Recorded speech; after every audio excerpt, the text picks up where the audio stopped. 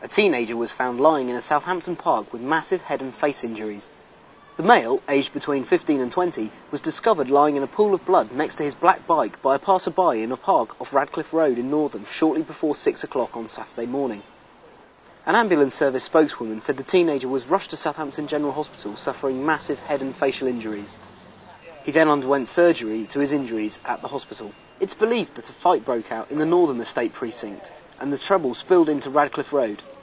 Police sealed off Radcliffe Road and Northam Road, causing havoc for morning traffic.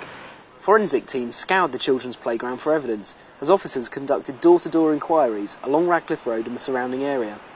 A police spokesman said inquiries into the incident were underway.